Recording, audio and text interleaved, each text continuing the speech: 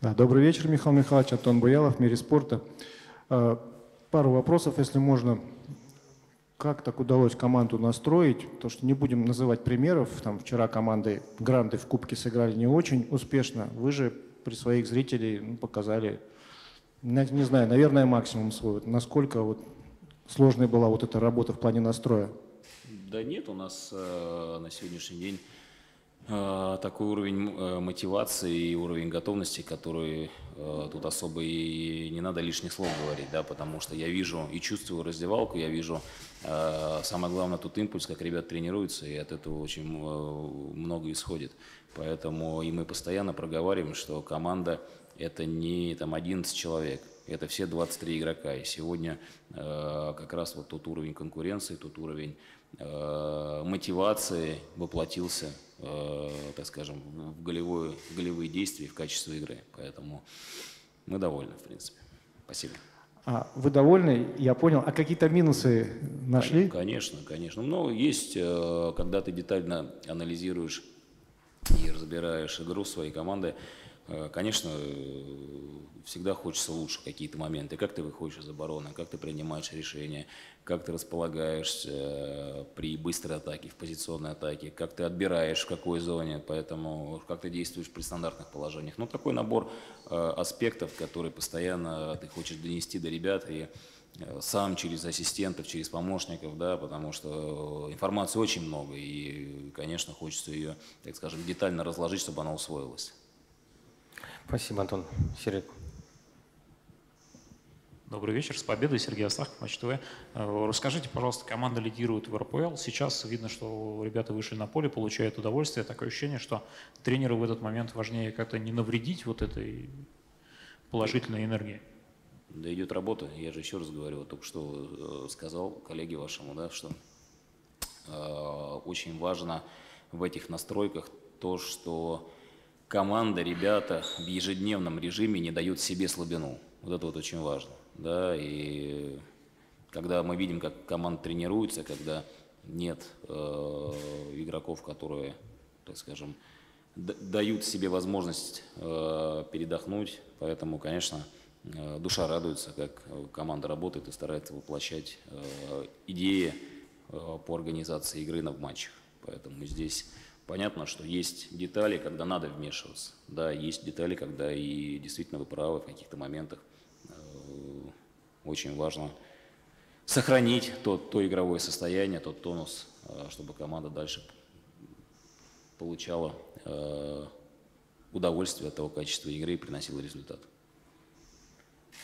Спасибо, Сергей. Спасибо, Михаил Михайлович. Давайте оттуда, чтобы Ну ладно.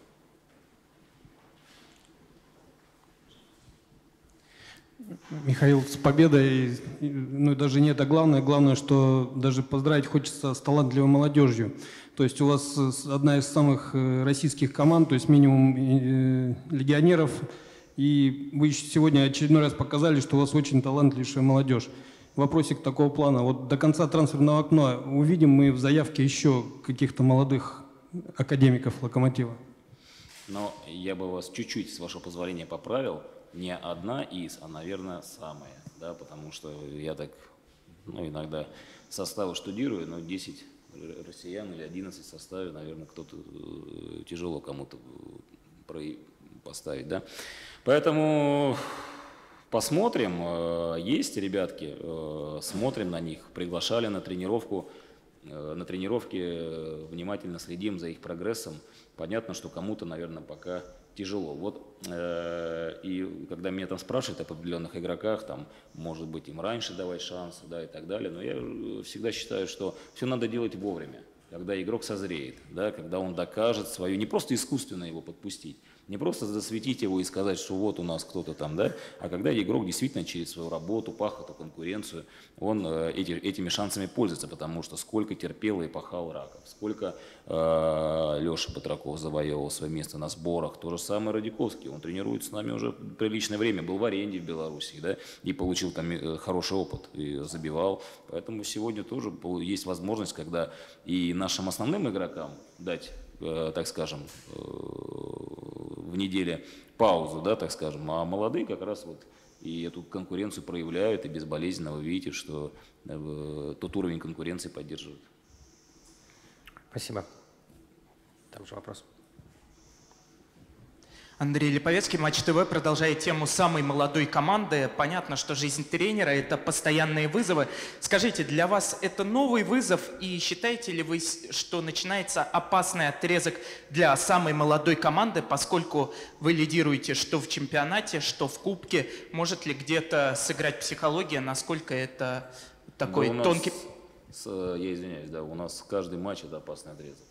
Тут же, вы же видите, насколько плотная таблица, все очень относительно, надо правильно подходить к матчам. Что касается вызова, а какой вызов? Ну, э, мы же с вами уже неоднократно говорили, что э, есть э, группа игроков, которые сегодня, нам очень важно ее сделать э, очень сбалансированной, нам команду надо сделать дисциплинированной, и мы потихоньку, поэтапно к этому двигаемся, что это э, сегодня та страсть, та самоотдача, которая у ребят присутствует, они получают удовольствие в этой модели игры, поэтому э, приятно э, развивать всю эту историю. Поэтому каждый матч э, отдельный, отдельная такая важная, ва- важная история, которую надо проходить. Загадывать и заглядывать вперед, э, можно, знаете, как э, спотыкаются не большие горы, а маленькие камушки. Поэтому очень важно вот, именно ту дисциплину, ту организацию сохранять и э, от матча к матчу двигаться. А, Дополнительный вопрос. А, Ну, как-то заранее предотвратить, предупредить, увидеть вдруг, если у кого-то появляется звездная болезнь, можно? Было ли, в принципе, такое у вас? Были, конечно, были. Были моменты, понятно, без фамилий, но мы видим, что кто-то снижает все требования, кто-то перестает работать, э, поэтому не, не получали шанс своих, да, в- в- на какой-то отрезок. А когда мы видим, что люди перестраиваются, когда мы видим, что те нотки э, тренировочной работы как, и отношения к делу, они правильные, поэтому и, и реакция наша соответствующая. Мы даем возможность всем проявить себя в равной конкуренции. Поэтому, конечно, это и основная наша задача э, держать команду в тонусе, в, в таком в рукаве хорошем, увидеть и предотвратить, вы правильно сказали, те вещи. Не по факту действовать, когда это случилось, а э, сыграть какие-то вещи на опережение. Спасибо. Еще вопрос, коллеги? Михаил Михайлович, а, вопрос такой. А, А, Радиковский пожалуйста. сегодня, Сергей Королев, пресс-служба «Локомотива». А, Радиковский сегодня дебютировал и забил гол. Складывается впечатление, что ребята молодые, они подтягиваются друг за другом, потому что Раков играет давно, но забил гол тоже вот в этом сезоне. И сегодня он, кстати, давал интервью Матч ТВ ну, во время матча. И он говорил, что мы заготовили специальные празднования, то есть уверенность уверенность у ребят в том, что они действительно будут и играть, и забивать.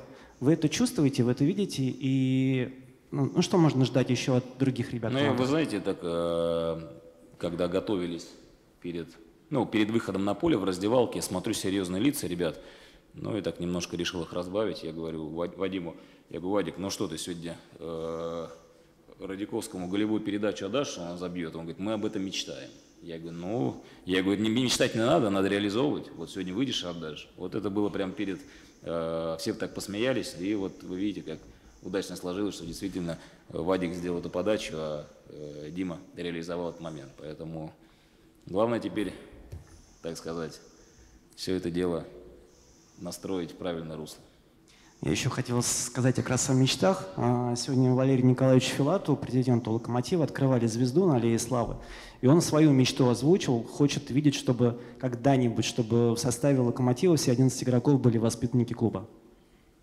Отличная идея, э, прекрасно. Понятно, что кто-то это может быть э, действующие, но я имею в виду, которые выпускники, кто-то может из других команд присоединиться, но тоже э, воспитанники да, академии э, и клубной системы. Поэтому это, это важно, пр- продолжать преемственность. И э, как раз на одном из советов директоров, когда мы э, обменивались мнениями, тоже об этом Валерий Николаевич поднимал эту тему. Мы только за, если такие ребята будут, э, будем к этому стремиться. Спасибо, Сергей. Сергей. Михаил Ильич, э, вопрос такой. э, В последние дни поднялась тема возможного возвращения Антона Мирончука. Расскажите, пожалуйста, ну, болельщики переживают, хотят, наверное, видеть Антона э, в команде.